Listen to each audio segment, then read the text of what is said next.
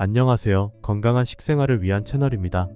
오늘은 건강한 슈퍼푸드 그릭 요거트의 놀라운 효능 7가지를 알아볼게요. 그릭 요거트는 일반 요거트에 비해 더 진하고 크림 같은 질감을 가지며 다양한 건강상의 이점이 있습니다. 첫째, 그릭 요거트는 높은 단백질 함량으로 근육 건강을 증진하고 포만감을 줍니다. 둘째, 프로바이오틱스가 풍부하여 장내 건강을 개선하고 소화를 도와 변비와 같은 문제를 완화할 수 있어요. 셋째, 낮은 칼로리와 높은 섬유질로 체중 관리에 이상적입니다. 넷째, 강화된 뼈와 건강한 치아를 위한 칼슘의 훌륭한 공급원이지요. 다섯째, 면역 체계를 강화하여 질병으로부터 보호해요. 여섯째, 칼륨이 풍부하여 혈압을 조절하는 데 도움을 줍니다. 일곱째, 비타민 B12, 아연, 요오드 등 필수 영양소가 가득해서 전반적인 건강을 증진해요. 그릭 요거트는 스무디, 샐러드 드레싱, 베이킹에 활용하거나 그냥 먹어도 맛있습니다. 베리나 너트와 씨앗류를 넣어 먹어도 맛있어요. 그릭 요거트로 매일 건강을 챙기세요. 이 채널을 구독하시고 더 많은 건강 정보를 얻어가세요. 그럼 다음 영상에서 또 만나요.